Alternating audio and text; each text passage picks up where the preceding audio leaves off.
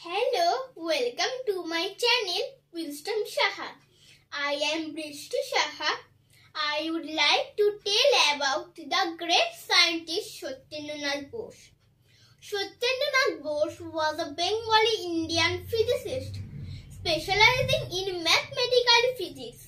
He took birth in Kolkata on 1st January in 1894.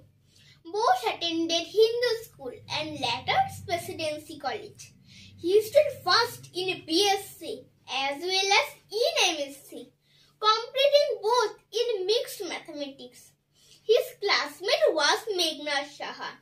His zeal to explore was such that he even learned German and French to read scientific paper. Along with Meghnad Saha, Bose translated Einstein's theory of relativity from German to English.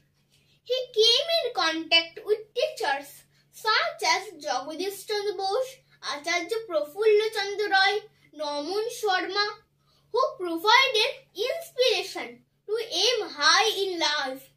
Bose became a lecturer in the physics department of Calcutta University. In 1921, he joined the Dhaka University.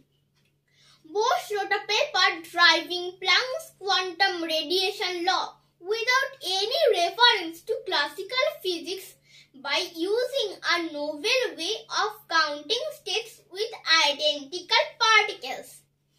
Physics journals refused to publish Bose's paper. After that, he sent the paper directly to Albert Einstein. He appreciated it so much that he himself translated it into German and sent it for publication. This paper received a great attention, highly appreciated by the scientist. It became famous to the scientists as Bose-Einstein theory. One kind of particle in atom has been named after his name as boson.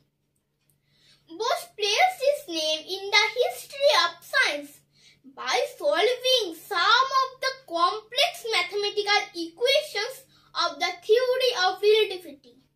Bose was elected General President of Indian Science Congress. He became a Fellow of Royal Society. Bose was honored with title Padma by the Indian government. He breathed his last on 4th February in 1974. His death created a vacuum in the world of science.